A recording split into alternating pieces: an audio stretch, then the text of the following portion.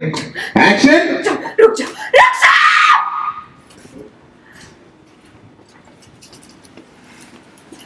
माँ?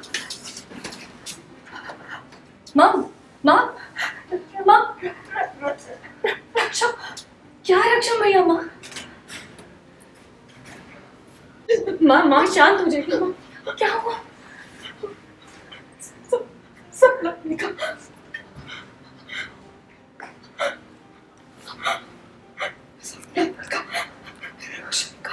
रक्षा भैया को कुछ नहीं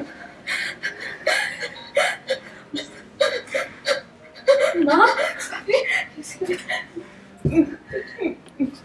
मैंने वो वकील संभल कर रखी। मन किया कि उसको जला डालूं।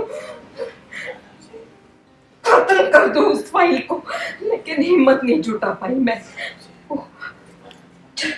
फ़ाइल चला डालते। हैं नहीं नहीं माँ नहीं नहीं। आप आप मुझे दे दीजिए। मैं उसे संभाल कर रखूँगी। तो इस कान्या परिवार की भी मेरे हाथ में सब कुछ मेरा होगा।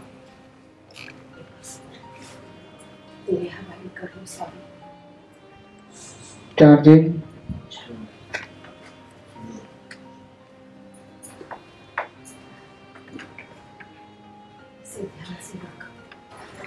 इसे ध्यान से रख इसी में वो है इसके बारे में कोई भी नहीं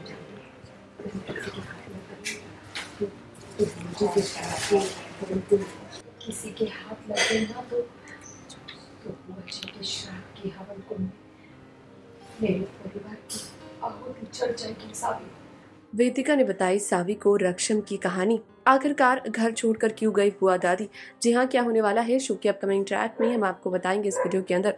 वह शो के अपकमिंग ट्रैक में आप देखने वाले हैं कि किस तरीके से बुआ दादी घर छोड़कर चली जाती है और उनके जाने के बाद वेदिका जो है, वो सावी को सारा सच बताती है। जी हाँ दरअसल वेदिका और सावी किचन में होते हैं जिस वक्त सावी कुछ काम कर रही होती है और ऐसे में वेदिका जो है, वो सावी को सारा सच बताती है। जी हाँ सावी किचन में तैयारियाँ करती है और उस वक्त रक्षम एक अडॉप्टेड चाइल्ड है। ये पूरी कहानी वेदिका सावी को बताती है, जिसे सुनकर सावी की नज़रों में वेदिका की इज़्ज़त और भी बढ़ जाती है। जी हाँ शो के अपकमिंग ट्रैक में हम देखने वाले हैं कि खुलासा होने वाला है कि रक्षम जो है वो एक अडॉप्टेड चाइल्ड है और इसीलिए बुआ दादी जो है वो रक्षम से ज़्यादा नित्यम को प्यार करती है। जी हाँ हालाँकि इस बारे में अभी तक घर वालों को नहीं पता है कि रक्षम एक अडॉप्टेड चाइल्ड है। और देखना दिलचस्प होने वाला है कि सच्चाई सामने आने के बाद आखिरकार घर वाले किस तरीके से रिएक्ट करते हैं। वाल आपका क्या कहना है इस पूरी अपडेट को लेकर? हमें कॉमेंट सेक्शन में ज़रूर बताएँ। और टेलीविज़न से जुड़ी हुई इसी तरह की ढेर सारी खबरों के लिए हमारे चैनल को सब्सक्राइब करना ना भूलें।